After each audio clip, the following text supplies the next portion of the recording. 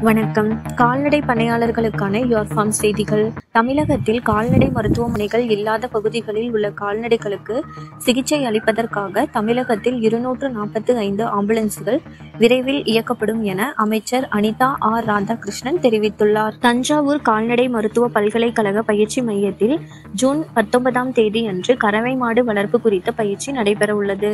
சேலம் மாவட்டத்தில் தீவன அபிவிருத்தி திட்டத்தின் கீழ் கால்நடைகளுக்கான தீவன பொருட்களை ஊடுபயிராக பயிரிட ஒரு ஏக்கருக்கு ரூபாய் மூன்றாயிரம் முதல் ஒரு ஹெக்டருக்கு ரூபாய் ஏழாயிரத்து ஐநூறு வரை மானியமாக வழங்கப்பட உள்ளது கால்நடை வளர்ப்போர் ஜூன் பதினைந்தாம் தேதிக்குள் தங்கள் கிராமத்திற்கு அருகிலுள்ள கால்நடை உதவி மருத்துவரை அணுகி விண்ணப்பிக்கலாம் என சேலம் மாவட்ட ஆட்சியர் அலுவலகம் தெரிவித்துள்ளது.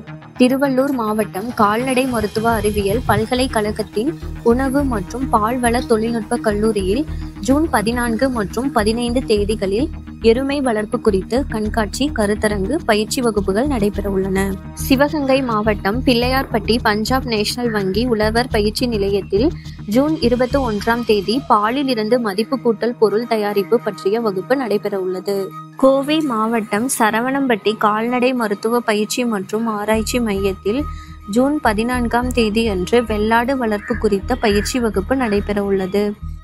இத்துடன் இந்த வார தகவல்கள் நிறைவு பெறுகிறது. நன்றி.